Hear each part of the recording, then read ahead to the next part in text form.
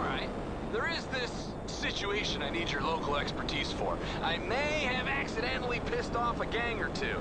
It's easy to do down here, right? Where I'm from, shitting in someone's gas tank is kind of like saying hello and bringing over a fresh apple pie. Anyway, one thing led to another. Now the only way I can see to fix this is to hijack a Go Postal van that's delivering something to their spot. At least that's step one. I'll call you when you have it.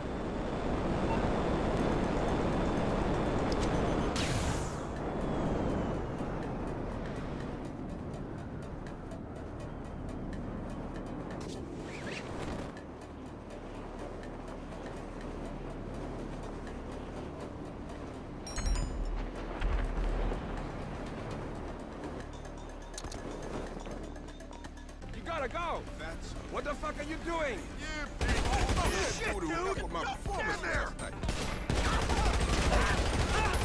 Oh, what now? You with no points. Shatter your life. Oh my God! Wrong. You're ignorant. You know that.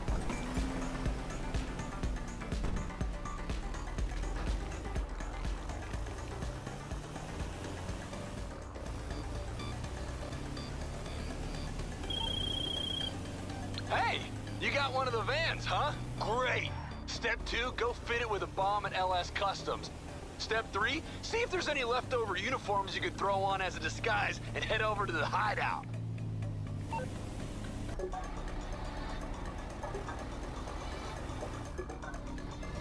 What miracle did you want me to perform?